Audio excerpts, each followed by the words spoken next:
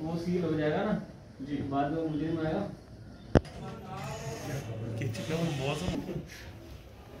में इसको मतलब I, Make for edit. चप्पल साइड Uh, yes.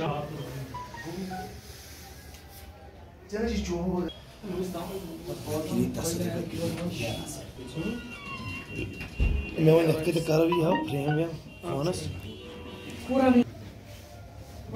वो यार आदमी को फ्रूट खिलाओ आदमी को वो करो.